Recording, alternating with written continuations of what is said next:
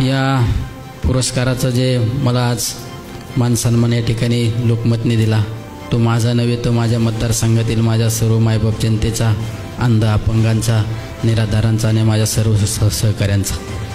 या ठिकाणी मी ज्या नगर पारनेर विधानसभा मतदारसंघामध्ये काम करतो तो मतदारसंघ आदरणीय अण्णासाहेब हजारे आदरणीय पोपटराव पवारांचा हा मतदारसंघ त्या मतदारसंघामध्ये मी ज्यावेळेस या तालुक्याचा लोकप्रतिनिधी म्हणून मला या मतदारसंघातील सर्व जनतेने लोकवर्गणीतून निवडून दिल्यानंतर मी कामकाजाला सुरुवात केली. आणि थोड्याच दिवसामध्ये कोरोना या नावाचं महासंकट या पूर्ण जगावर पूर्ण देशावर आलं. त्यावेळेस बावीस मार्चला लॉकडाऊन झाला आणि मी तेवीस मार्चपासून माझ्या मतदारसंघामध्ये सुपा असू टाके डोकेश्वर असू नवनागापूर या ठिकाणी अन्नछत्र चालू केलं.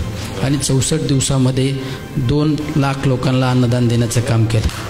आणि त्याच माध्यमातून पायी जाणाऱ्या वाटसरू लोकांच्या ज्यावेळेस माझ्या लक्षात आलं का पायी जाणाऱ्या लोकांना पायात चप्पल नाही पायदा पायदानं नाही त्यावेळेस मी त्यांना प्रत्येक दिवशी पाचशे ते सहाशे लोकांना चप्पल वाटप केली.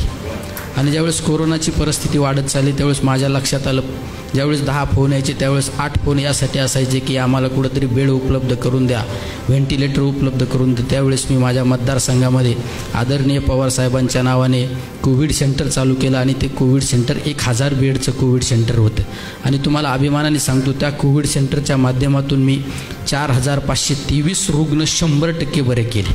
मत परिवाराला धन्यवाद देतो. थांबतो रामकृष्ण.